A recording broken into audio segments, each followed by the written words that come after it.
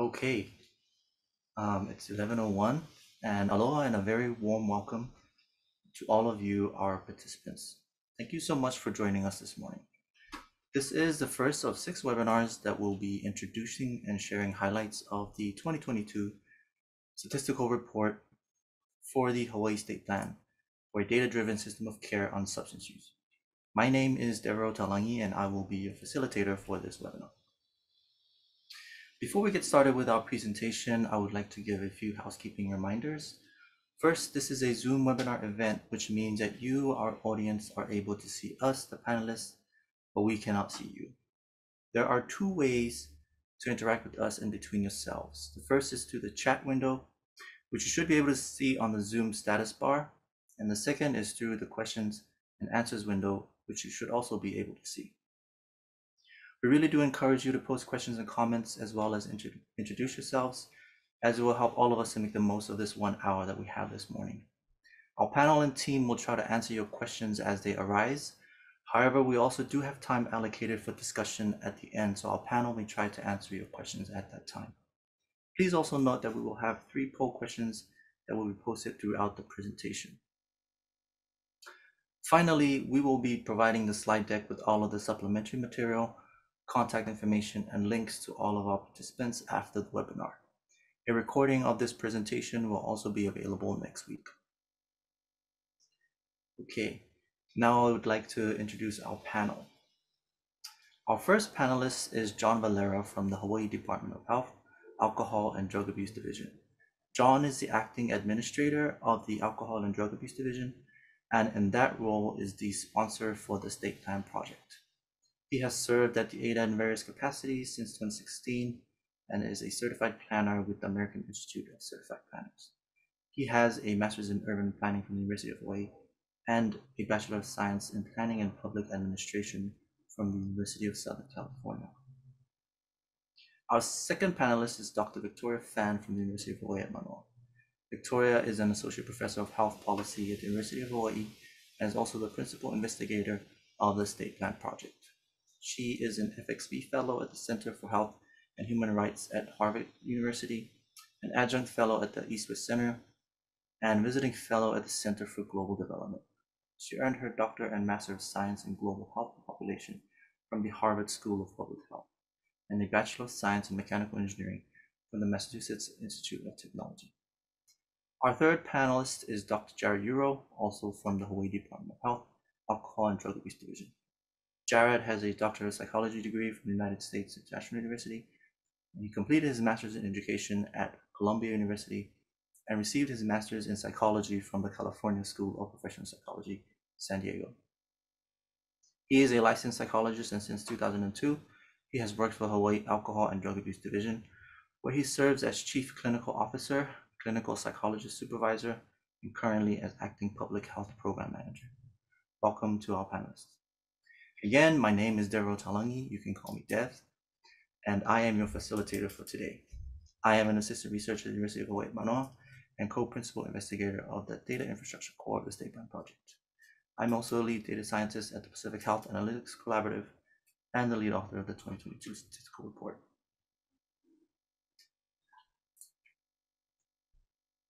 This presentation is separated into three parts. First, our panelists will introduce the overall state plan project. Then we will introduce the statistical report, and then we will provide some highlights from chapter two of the report itself.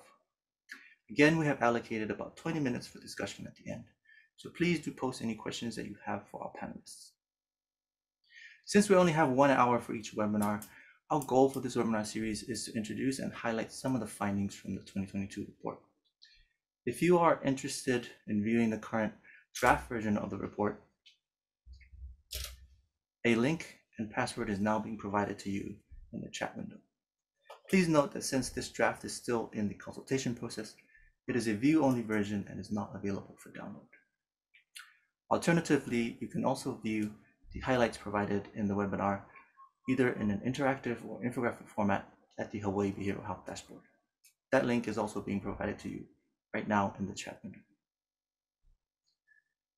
Lastly, before I pass it over to John to start our presentations, we have our first poll question, which should be showing up on your screen now. The question is, prior to this webinar series, had you ever heard of the Hawaii State Plan on Substance Use? I will give you a few moments to provide your answer.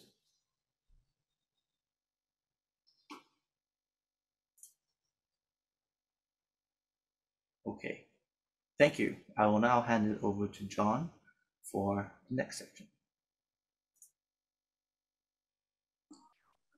Hi, everyone. Um, thank you for joining us today. I see many familiar names in the chat. Hope you can see me as well. And Dev, I'm pretty surprised that everyone voted so quickly. But again, it was, it was that, that was a great question to start us off. So this is the webinar one uh, intro, an overview of the state plan substance use. So there's a slide here that kind of captures a bit of history over since the 70s. So I'm going to do my best to kind of, in a nutshell, um, lead you to how we ended up here today. First, a bit of history about the Alcohol and Drug Abuse Division of the Department of Health before we talk about the state plan on substance use. First off, the Hawaii Revised Statutes, Chapter 321, Part 16, is what is the enabling law that enabled uh, the Hawaii Substance Abuse Program to be created within the Department of Health. From 1975 to the early 90s, the Substance Abuse Program was an organizational branch of the Adult Mental Health Division, or AMD. Uh, in the late 90s, the Substance Abuse Program became a separate division, the Alcohol and Drug Abuse Division, which it is today. Since 1972, other mandates that affect ADAD, Alcohol and Drug Abuse Division, include um, the statutes that talk about the Hawaii Advisory Commission on Drugs and Drug Abuse and Controlled Substances, called HACDACS, which is uh, these statutes I'm talking about are in other places. So HRS Chapter 329, which is the public safety chapter. Uh, there's also HRS 329E, which is the Overdose Prevention and Emergency Response Act, and certain parts of HRS Chapter 334, which is the mental health chapter. Now, regarding the state plan on substance use, the state plan for substance abuse is the term that's used in the law, HRS Chapter 321, Part 16. Okay. It was passed by the legislature back in 1975. As mentioned, there are other substance abuse laws, as I just mentioned previously, but uh, this one I'm talking about is the core enabling legislation that eventually led to the creation of ADAD. The state plan for substance abuse is also required, according to the Department of Health laws. Uh, it has to be prepared, administered, and implemented, and it may, not shall, consist of a plan for alcohol abuse prevention and a plan for drug abuse prevention. Okay. Um, my predecessors, previous administrators of the division, preferred to keep it for a while as one plan. In other words, one plan would talk about substance use, use prevention and substance use treatment and recovery. One document. Um, they preferred to keep it as one plan, mostly, but teased out separate chapters on different topics of interest, priority topics that were important at the time. And so uh, this chapter 321 is basically the heart of it, uh, of what ADAD does, is supposed to do. It gives the general responsibilities of the division. The state plan on substance abuse also has to be reviewed annually. Okay. And to that effect, ADAD has produced and written, prepared, and released annual reports to the state legislature every December for the following session, which takes place the following January. Um, it also says, the law says all, that the HACDACS, which is the Hawaii Advisory Commission on Drugs and Controlled Substances, shall advise the Director of Health on all matters regarding substance use, including the state plan for substance abuse. So every year we give that annual report to the legislature, and the intent of which is to detail progress on implementation of the mandates in the law. The law also gives us uh, options in our tool belt. For example, ADAD may adopt rules to carry out any part of the statutory requirements and also hire staff. So the state plan on substance use is intended to be a more comprehensive uh, statewide study on substance use services, but not just the services, but what are the needs and what are the opportunities um, that, that are presenting themselves. So to recap, the state substance abuse plan has not been updated since the last one was adopted in 2000. The first comprehensive plan for substance abuse was released by Governor Ariyoshi in 1976, shortly after the uh, Department of Health statute was amended to add enable the substance use program. The plan received subsequent revisions, as the slide says, in 1989, 91 to 93, 94 to 97, and in the 2000 version of the plan, the treatment uh, components were split into separate documents, which kind of brings us to today. I just want to have offer a couple notes on how the plan evolved since the 1970s.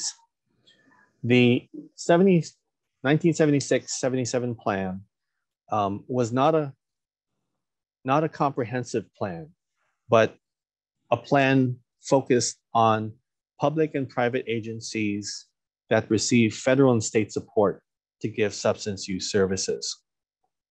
It involved also heavy coordination with the county governments, the county mayors, to maximize the utilization of community resources and providing feedback to the plan. The 1989 plan came up it was it, now this is a fundamental what it did which was uh, instrumental it came up with a comprehensive framework for substance use system that involves coordination and cooperation between public and private agencies uh, the 1989 plan had four focuses administrative service delivery data and quality assurance for both treatment and re recovery and prevention. The 1980 plan, all 1989 plan also advocated to have a forum for continued discussion among ADAD and, and, and its partners uh, continued discussion leading to common understanding among agencies, providers, lawmakers, consumers, and the public. The results of the forum, participation in the forum, would then result in action plans, common goals, and objectives. So this 1989 plan uh, came up with this comprehensive framework. So the 1991 to 93 plans uh, basically took that 1989 plan and tried to implement it. They, they started to compare alcohol and drug data nationwide versus Hawaii for, al- for, for adults and for students. Back then, the categories were alcohol and drugs. Uh, for students, um, they found there was a high use of marijuana, tobacco, and over the counter drugs. Um, for Native Hawaiians, there was some, the, there was reported a high alcohol use. Um, and then for other populations, uh, higher than usual use for, you know, for marijuana. Um, and it also talked about injection IV drug users uh, with HIV infection. The 1991 to 93 plans also uh, combined prevention and treatment. It talked about both prevention and treatment into one document. It listed who was providing services and whether they were state or federally funded. And then it had sections on prevention and treatment services that were needed with goals and objectives and implemented st- and strategies on how to implement those services that were needed. The 1994 through 97 plans continued the pattern, but it also added sections on number one, criminal justice system, those with substance use in the criminal justice system, as well as dual diagnosis clients. So those with substance use who are wrestling, struggling with mental health issues.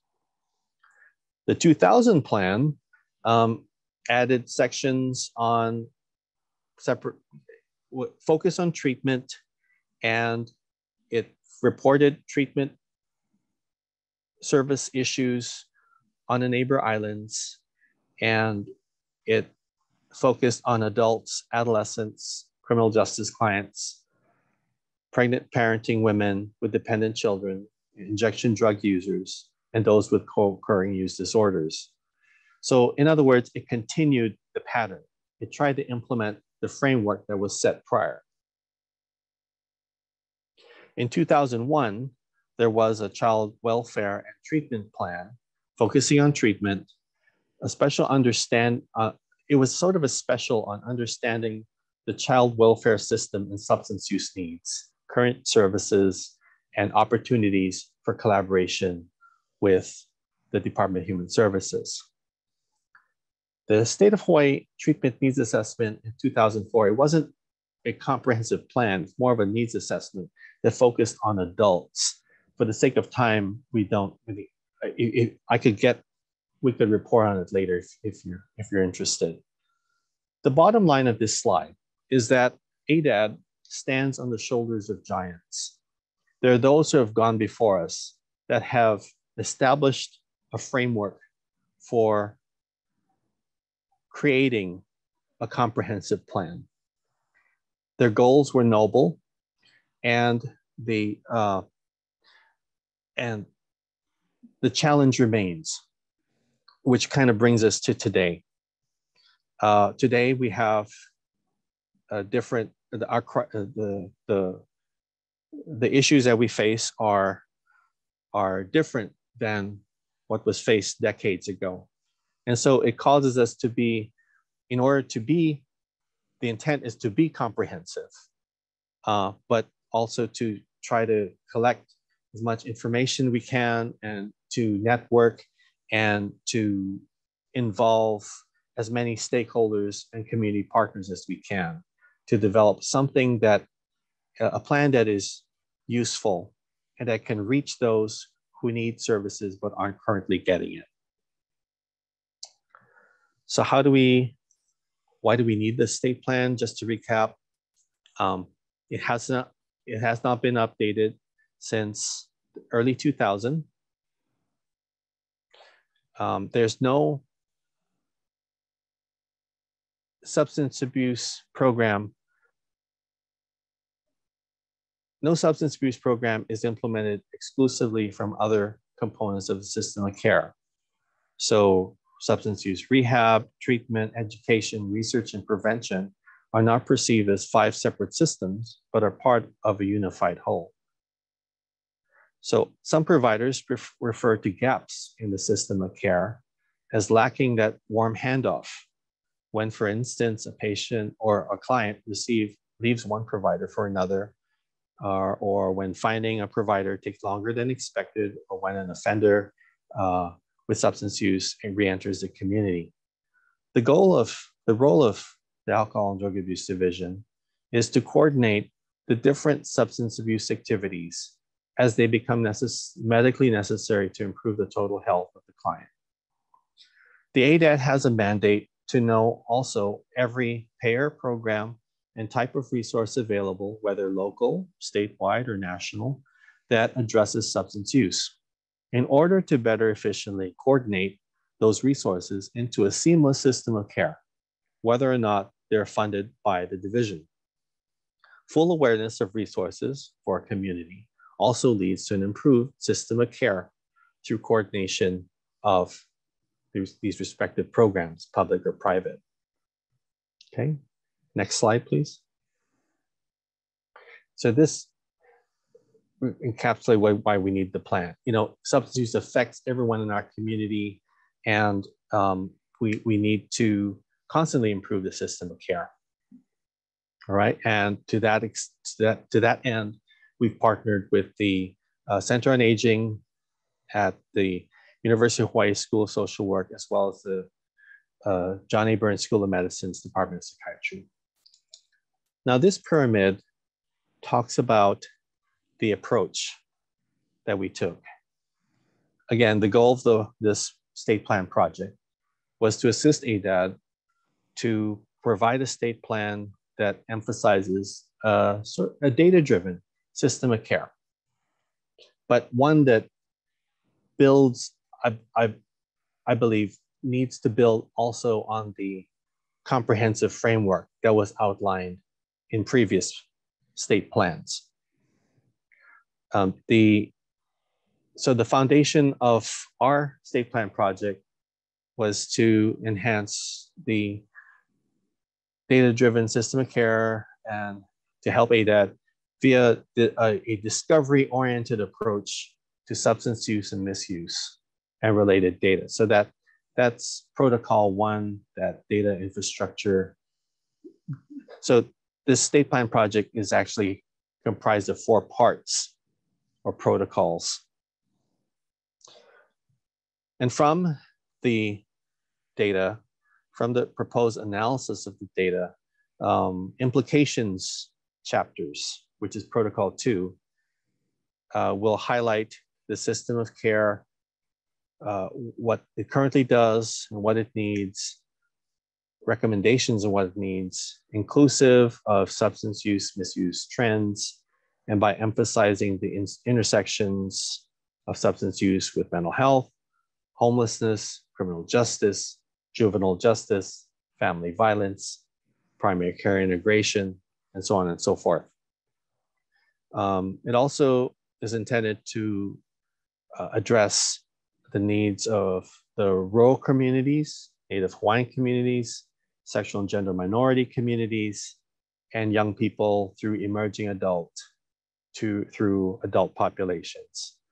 In particular, there was an adult treatment needs assessment, uh, which is protocol three. That's its third part, uh, which was conducted both quantitatively, you know, that's the data part, and then qualitatively with a focus on the emerging adult population, because that's a population that ADAD knows very little about, to explore the needs, supports, barriers, and gaps in areas for improvement uh, in the system of care.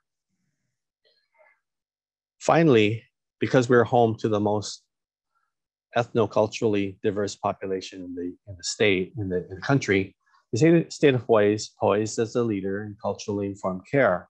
And so protocol four uh, is involves a Native Hawaiian case study, which takes a Native Hawaiian approach to substance use or misuse um, uh, via case study of uh, doing collaborative interventions in a community organization which does youth prevention,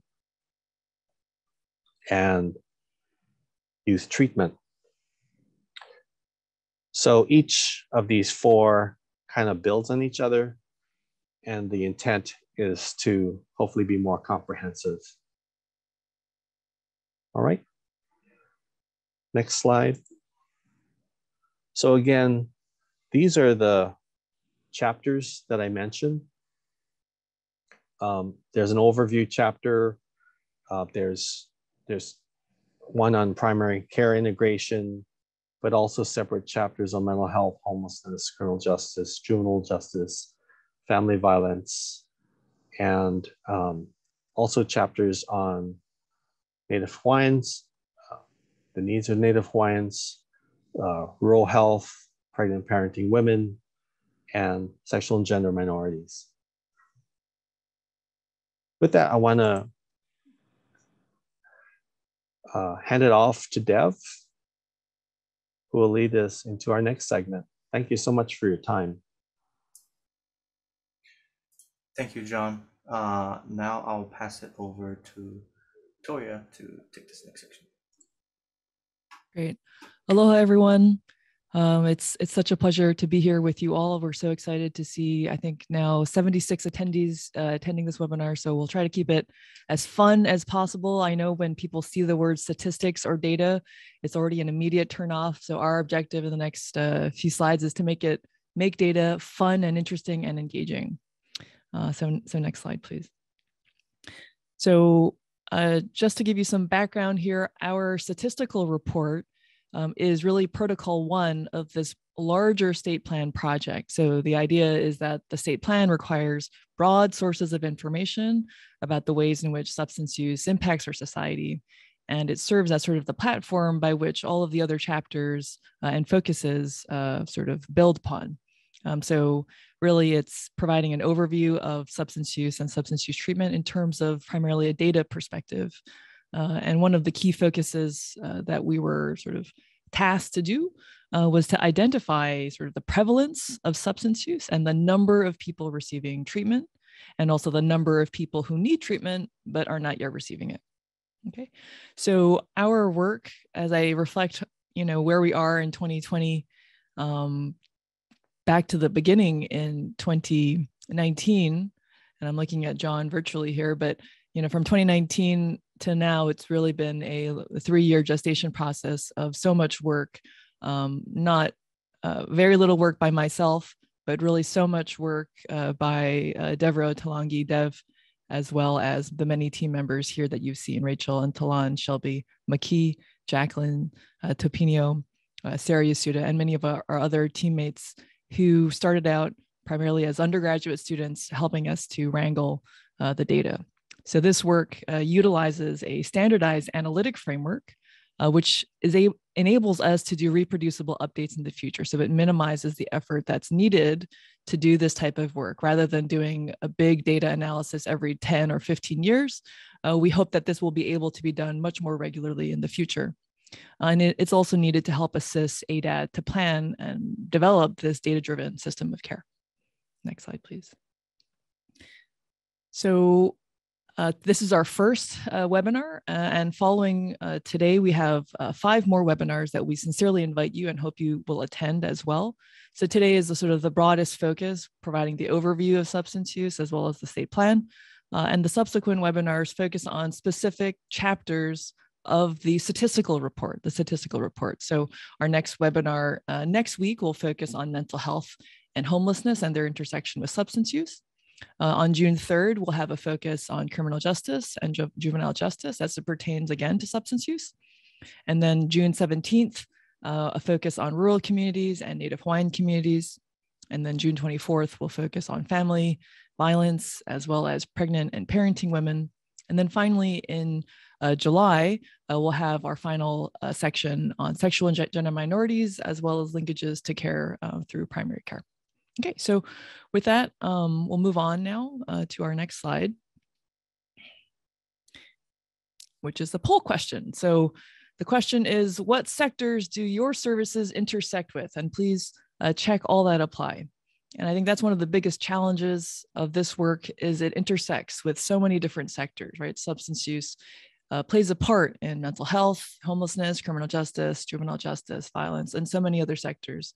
Uh, and we seek to involve and collaborate with all of you actually uh, for your inputs and feedback to make this report more relevant and useful to you. So I'm looking at Dev to give me a, a look here when, when we know that the data has been collected, but um, we'll give you maybe 10 more seconds.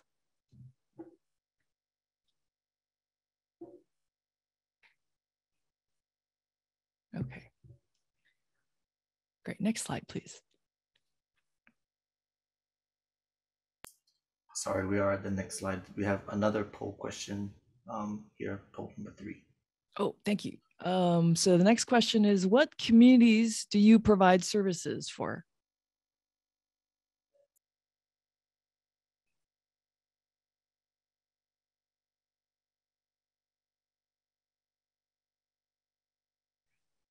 So again, part of our challenge of the state plan is that we had both sectoral focuses as well as sort of community focuses. And so they sort of intersect constantly, both in terms of sectors as well as populations and communities, also making it uh, more challenging uh, to reach out to all the different interests and stakeholders out there. Okay. Great, thank you. Thank you for your inputs and we'll share, I, I, believe we'll have a chance later to share the inputs from the poll questions later on. Okay, so now my job is to not make you all fall asleep and I'm gonna try to give a high level overview of the chapter two, uh, which is the overview of substance use in our statistical report. So next slide, please. So the sub the subtopics of this chapter really cover four different areas. And so it starts out primarily with a focus on prevalence, right? So that was one of the main questions of interest, which is uh, what is the prevalence or number of people um, who have substance use, abuse, and dependence issues? And then we progress on uh, next to questions about emergency visits and hospitalizations, death, mortality, and then crime and violence. Uh, and I'm really pleased that I believe John uh, will be sharing a bit about the hospital data um, and uh, Jared will cover uh, mortality and crime and violence. And this, will, this slide obviously shares the different sources of data that we utilized. Um, and again, if you have more questions about any of these uh, sources of data, or if you have data that you would like to contribute to be part of this uh, state plan, you know, please reach out to us and we're happy uh, to meet and discuss any of these data sources with you. But it was an enormous task. Uh, even one data set alone is, is challenging, let alone uh, so many data sets. Okay, next slide, please. So first on substance use, abuse, and dependence. Okay, dependence. So we're first focusing here on substance use in the past year. And we've got it for the state of Hawaii and the United States. And based on the data source that we, we use, we had to aggregate it for the past four years. And that was just a feature um, of the particular national survey uh, that we were using. And you can see here green in, is, is reflecting the, the uh, percentages uh, in Hawaii. And not surprisingly, um, alcohol uh, and tobacco form the highest prevalence uh, substances um, in, in, in Hawaii and also nationally. Uh, and we provided the national picture to sort of serve as a benchmark uh, under to, to get a sense of you know what substances uh, does Hawaii have a higher prevalence compared to the national prevalence? And so we see here that would be the case for cocaine, hallucinogens, inhalants, uh, and methamphetamines. Okay, and and obviously you may have other particular concerns or interests given so many different substances out there, uh, but we've just presented this information here for you to share and you know reflect on and you know share your feedback. Okay, next slide, please. Okay, next we have substance abuse. So the previous slide was just substance use, and now this is a, a specific focus on substance abuse in the past year. Um, and again, you can see here um, alcohol use is also the highest prevalence, um, followed by, I think, illicit drugs and marijuana. Uh, but again, the substances where Hawaii is doing worse than the national average are uh, cocaine, methamphetamines, uh, and misuse of pain relievers. Okay, next slide, please. And finally, we have substance dependence uh, in the past year. And again, sort of a similar picture as we've seen before, um, where alcohol and nicotine are substantial, but now we see the role of illicit drugs um, as being substances of dependence. Um, and we see here um, the state, the substances where Hawaii has a higher prevalence than the national average, um, at least in the point prevalence in the numbers itself, um, are alcohol, marijuana, cocaine, hallucinogens, and methamphetamines. Okay, next slide, please. Moving on, uh, given the particular interest in emerging adults, so adults aged 18 to 25 years, uh, we also pulled out these specific numbers um, for these, you know, long list of substances. And not surprisingly, we see that the similar drugs that we saw for the overall population also appear. So tobacco, uh, alcohol, and mar marijuana use have the highest prevalences of all these different substances. Next slide. Uh, this slide uh, draws from information about um, ever using marijuana among public high school students um, by grade. And it, while it's hard to say definitively, but it does appear that there seems to be a slight decline uh, over time, um, particularly, you know, 11th graders, um, 12th graders haven't seen as significant, just from eyeballing it, a as steep of a, of a drop although we haven't shown any of the statistical significance about whether these are, you know, really large uh, drops or not. The 10th graders don't seem to have as steep of a drop. And similarly with ninth grade, it seems to be both up and down. Okay, next slide, please. So at this point, I will pass it over to John. So hi, everyone. Um, so this deals with emergency room visits, and you can see that uh, there has been from from for this time period that there has been an increase in especially in prevalence of alcohol, uh, amphetamines, and opioids that have affected ER visits. And um, which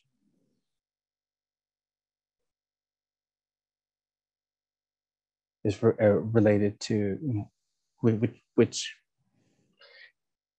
is uh, information that's been available to us. So um, regarding, so the next slide would be not ER visits, but inpatient visits. So these are um, inpatient visits per 100,000 residents. Um, again, you can see that slight increases in inpatient visits due to alcohol and opioids, as well as other drugs. So, which is a very interesting category. Um, we hope to gain more insight on what that is. But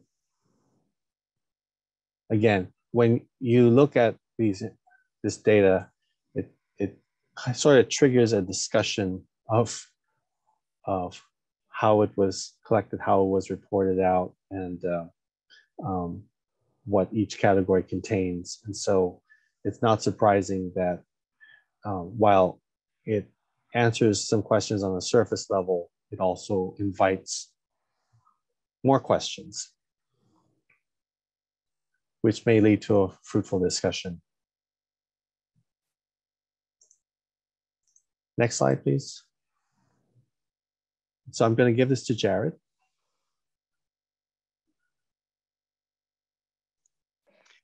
Aloha, everyone, and good morning. So for this particular slide, we're looking at overdose deaths per 100,000 residents by substance in the state of Hawaii and the United States from 2015 to 2021. And please note that the source for this is the National Vital Statistics System or NVSS. So in this case, we're looking at, we have cocaine, opioids, and also psychostimulants with abuse potential, which also includes methamphetamine. So if we look at the state of Hawaii in comparison with the United States, we're looking at deaths per 100,000. If we were to start at the bottom of each of these, comparing each states from 2016 all the way up to 2020, part of what we're noticing is really an increase in areas, you know, for each of these. So when we talk about what are the concerns, you know, with regards to overdose deaths and how we look at mortality, the trend lines are certainly of concern when we look at deaths per 100,000 residents. So we can see in the direction where things are moving, 2016 relative to what happened in that four-year period. Next slide, please. And looking at mortality related to drug toxicology results of drivers involved in fatal crashes in the state of Hawaii from 2018 to 2019. Now, this is actually fatality analysis reporting system, also known as FARS, and looking at several substances, looking at amphetamines, methamphetamine, stimulants, cannabis, opioids, other drugs, depressants, and cocaine. So we look cannabis, um, in some ways, when you look at the previous slides we've had, um, that's really up 2018, you look at 2019. Um, looking at other uh, slides as well, uh, depressants, when you look at the count regarding drug toxicology results, and other areas also include methamphetamine. And unfortunately, these are things are not surprise. Um, amphetamines are also up there as well. Next slide, please. So we're looking at substance abuse and dependence for adult arrests for substance related part two offenses in the state of Hawaii from 2010 to 2019. So we're looking at a 10 year period. And then you can see a number of graphs um, looking at alcohol related, um, drug related, both in the case of manufacturing as well as possession for you know, particular substances. So we look at the trend lines at the very bottom, looking at the count, with the source for crime in Hawaii 2019, a review of uniform crime reports. Let's look at the one that is really very, very, very high. And again, unfortunately, much like the previous slides, look at alcohol related and DUI, which is extremely high. We're looking at really from 2010, really above 6,000, going above 6,000, dipping maybe a little bit, but still really very, very, very, very high. And then I'm also looking um, at the dark red, which is alcohol related with regards to liquor laws. So other substances, certainly with regard to drug um, possession and manufacturing of concern. But again, alcohol is still one of those areas that is of major concern for substance related part two offenses. Next slide, please. And then juvenile arrest for substance related part two offenses in the state of Hawaii uh, for the same uh, period. And again, crime in Hawaii 2019 review of uniform crime reports. Again, looking at um, the green, drug possession, marijuana. So marijuana is something that, much like with the previous slides, we know that this something is uh, related to a large extent, I mean, way above 400. And even though dipping down a little bit, as the trend line indicates over the current years, which in many ways is an outcome. It's good to see the trend line going down. At the same time, we still know that when in comparison with other ones, it's still one of the higher areas. And the categories are all alcohol related, drug, drug manufacturing uh, for different substances, as well as drug possession.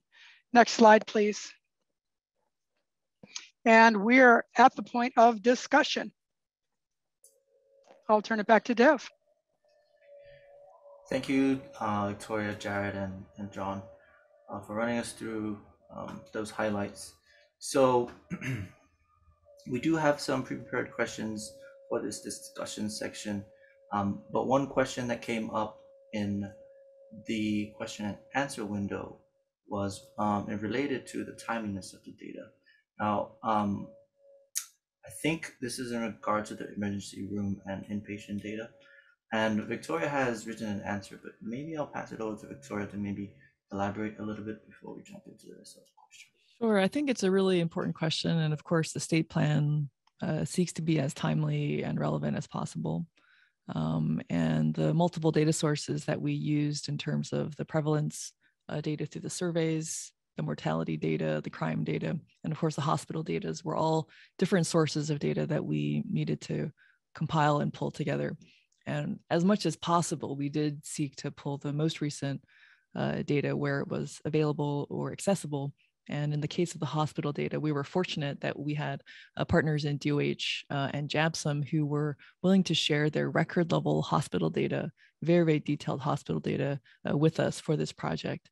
Um, there is some change with the hospital data systems. Um, the new system, the Laulima data system, is an important uh, hospital data resource, and we're looking forward to uh, potentially collaborating with them uh, in the future.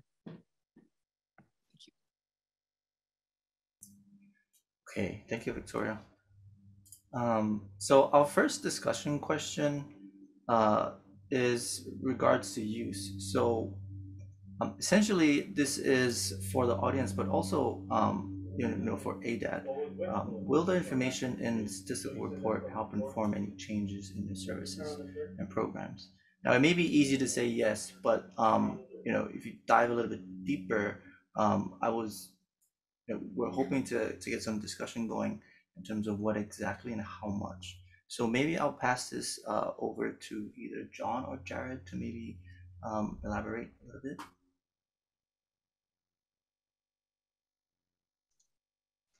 Thank you, Dev. So again, we, we hope that uh, we hope to get the, the most recent available uh, accessible data that's available to um, kind of assess uh, just what the state of state of things are. And so, you know, uh, the team has looked at several dozen different data sources. So that, and it's much more than we can describe in this webinar. Um, this webinar is intended to offer you a taste of what the, the team has put together, both in the, their statistical report, uh, as well as um, the different chapters that have been compiled, put together uh, by some uh, subject matter experts that have graciously volunteered of their time um, to, uh, to do extra work outside of their regular duties uh, to because the, the topic were of interest to them. And so um, we hope to make those sources available to you.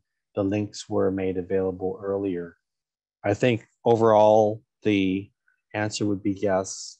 Uh, it's just that it's just the matter. It's just a matter of degrees because when you're talking about needs of a particular population, then we'd have to look at number one, what services are currently offered to that population. Number two, what services are needed. I think this is where getting community input is so key. It's so essential. Um, if even looking back at the 1977 plan, which Governor Ariyoshi signed, um, he the, the it involved considerable input from the community, from the partners, from the counties, and so this is what we hope to launch as a result of this webinar series, uh, more collaborations with you all. You're welcome to sit with me and Jared one-on-one if you like, um, and to, to go over perhaps some data that you are aware of that we are not aware of. Um, the UH team has looked through dozens of different data sets that are out there. Some are publicly available, many are not. And so uh, in the time that they did, they were able to kind of look and, and compile um, uh, some uh, uh considerable volumes of, of, of information that uh, can inform the way we, number one, we do our contracts, the way we monitor our um, the, the services that we're paying for, but also the, the, the types of services that we are that we are putting out. Um, you know, there may be services that are needed that we currently don't provide, and uh, we hope to learn from the community. I will not take up too much more of the time, but I think that's my piece. Jared, do you have anything to add? Yeah, I think one question that I always like to know when we're looking at data and how to apply it This is really my question for you all um, who are either service providers or are connected in some way with making sure that consumers have access to services. When you see all of the data that's been presented today, what I want to know is does this match your experience? When you look, if you're a provider, when you look at who's walking through the door, when you hear stories maybe coming, whether it's from consumers or family members, and going, yeah, that, that really matches what my experience has been. That is typically what I like to know when I um, am going out and with you. I know for Angela Bolin, who also uh, looks at your programs as well, uh, we always want to know, does this match your experience? So there's two aspects. There's the data, and we also want to know, does this feel right? Does this connect to what you and your staff are reporting? Because to the degree that there is that connection, then part of what John and I and ADAD want to be able to do is let's start, start talking about what we can do to match in order to be able to provide support in terms of the resources and the services that are getting out there. And I just want to follow up quickly, Jared, since you mentioned uh, Ms. Angela Bolin, who, who is our quality assurance manager. Um, one thing that the previous state plans may not have done or covered very well is workforce development. And I think that is a very key component uh, since the uh, current our current veteran workforce is leaving the workforce due to retirement or whatever, uh, uh, for whatever reason, uh, there is a need to reach the new, the younger generation, the new generation. Um, is it is it worth it? Is it really worthwhile to be a social worker in today's uh, economy, today's climate, um, and given the needs of our behavioral health substance use workforce? I think if this plan can add a workforce development component, as well as talking about service delivery, the admin, contract monitoring, um, the, the, our usual bread and butter, what we do on a daily basis, uh, as well as the service delivery aspects, I think then this whole effort um, would would really we, we, we would be taking it a notch even further. So thanks. Thanks, Jared. And thank you all for your time. Thank you, Jared and, and John, for those um, those insights. I, I do know you know the discussion is kind of moving towards workforce development. I do know that Victoria um, may have some thoughts on it. Victoria, do you have any thoughts in, in that sense? Well, I, I think, you know, I, I completely echo what John and, and Jared have said there. The state of Hawaii is going through serious population aging. Uh, the baby boom is approaching retirement age, uh, and that leads to serious challenges, uh, not just for substance use, but for all sectors. Um, and so the, the aging workforce will will cause uh, challenges uh, in terms of um, the the shortages that we are seeing um, in the in the whole state um, for for all fields actually. Um, but but yeah, I'll, I'll just I'll just flag here that the the broad there's a broader picture of of population aging. Yeah, and Victoria really tag teaming on what you and John have said. And I know we've had these discussions privately. The big area where data is absolutely critical is really in measuring workforce need. I think it's not only workforce need, but I know Victoria, before we've talked about health economics and the importance of health economic data. Health economic data is not only, as we all know, everyone, about looking at the services that are out there, but it's really about the health of our workforce. And so, what salaries do addiction counselors and social workers, psychiatrists and psychologists, and all of those folks out there, uh, licensed mental health professionals who are working, you know, all of us working with co occurring disorders, what education requirements, what are they making salary wise? What are they expected to do? This is where data becomes extremely important because it also informs educational institutions, it informs employers, um, it informs internship sites. Data, data, data tells us as a workforce what we what we all need to be thinking about. So I think this is kind of the holy grail of really making sure we have the people who can actually provide the workforces, workforce needed to meet our providers so that they can provide the work services out there.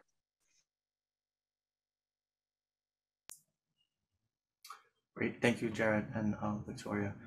Uh, we do have a question, question that popped up again in the question and answer, um, asking about whether hospitals contribute to the hospital database. And yeah, the short answer is yes. There are only two exceptions in the state um, that that contribute to the um, data sets that we have shown, uh, and those are Tripler and the state hospital. Um, moving on to our discussion question number two, I think Jared already touched on this.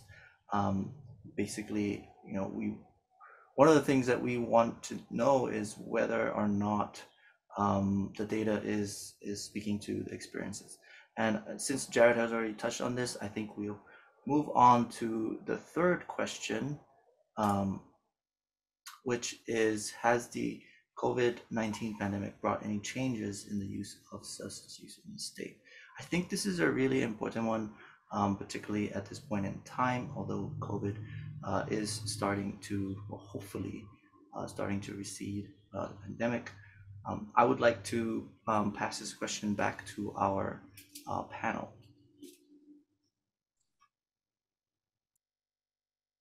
So this is John again.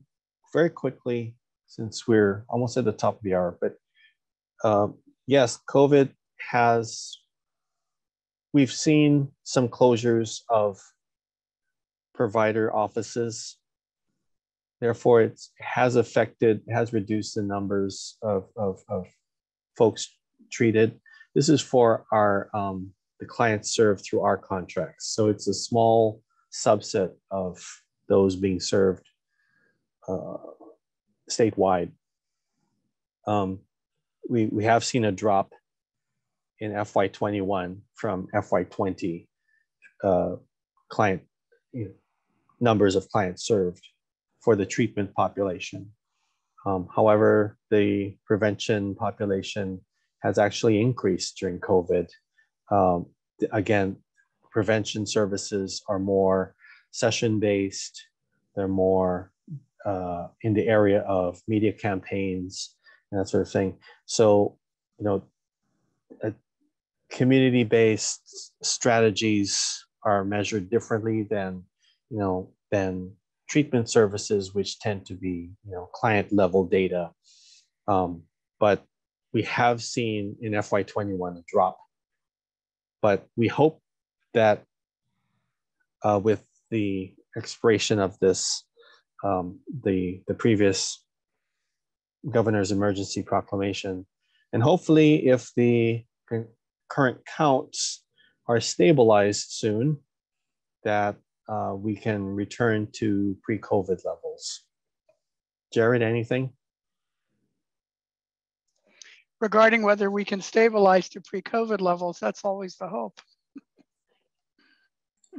But overall. Oh, in terms of uh, changes in substance, boy, the use of substance in the state. I think one of the concerns I have is uh, the ability of people perhaps to have substances delivered to them at home. I think internet sales, and I think um, I don't want to name any particular service, um, but the idea that there's the opportunity to have things brought to your home by different delivery options. I think that concerns me. Uh, so that if you have a cell phone or any other digital device, um, you can do that. I think the other concern is the ability of people to be able to seek help um, when people are used to going in person and no longer able to do that. Um, what is the availability of people to have access to digital devices? And I think it's to quote you, John, you talked about equity, which I think is a real good term, uh, tech equity. To what degree do people have access to devices that are really going to make um, access to an addiction or mental health counselor available for people. And one of the things I think the pandemic has brought on is this realization that people are often cut off from services. How do we go ahead and provide a way so that they can have access? I don't think we can go back completely to what we had previously. And so I think in No. looking at, so Yeah, I agree. you- I agree. go ahead, John. No, I agree. Uh, we're interested in helping uh, folks that aren't familiar with the use of the web. You know, and and I'm sure there are other entities that are uh, reaching those in the rural, uh, more rural areas of the state to engage and do telehealth and promote techquity, as as as it were. But yeah, I'm I'm just agreeing. Go ahead, Jar. Well, I think what this does is it gives all of us opportunities then to begin to think, how does our service delivery model need to evolve? And then how does our business model then need to evolve in order to be able to do this? Because if we look at the state chapters and that are going to be coming up and we look at all of the data, the question is in a COVID-19 pandemic world, and um, it if there's anything that's the silver lining to this, it highlights areas maybe where we are challenged, but I think optimistically it also looks at areas in which we can grow. And so, where does our business model as a field need to change? Where does our service delivery model need to change? And how do we all work together really to bring those changes about? And the only way that can really happen is through partnership, which is, I think, why these series of webinars are excellent opportunities really to guide what type of data do we need to be looking at in order to be developing these business models and these service delivery models. And that's why I think data is always a useful platform. It helps us ask these questions. Okay, thank you so much uh, to our panel for that discussion. Unfortunately, we uh, are a little bit past um, the top of the hour.